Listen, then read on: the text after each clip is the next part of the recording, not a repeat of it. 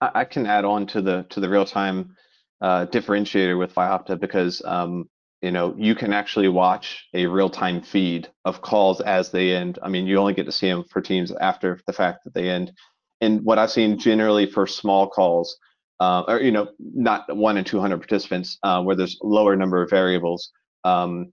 you uh, you can get the, the the the quality detail in four to seven minutes after a meeting ends. So you're watching a very real time ish feed of calls as they end, and you can see trends of good, bad, and fair with Vyopta's percept uh, kind of view on what good, bad, and fair is, not Microsoft's good, bad, and fair. Um, Vyopta obviously takes into account the audio, video, and presentation into that qualification versus just audio. Um, and you can quickly, at a, you know, by expanding that call out in the real-time-ish feed, uh, you can quickly see which participants, if it was all participants, if it, if it was only two or three that were bad or had the bad or fair experience, and you could pretty quickly see why. Versus um, Microsoft, it is quite clunky. I know all the tools um, how to get through get the same similar data out of Microsoft,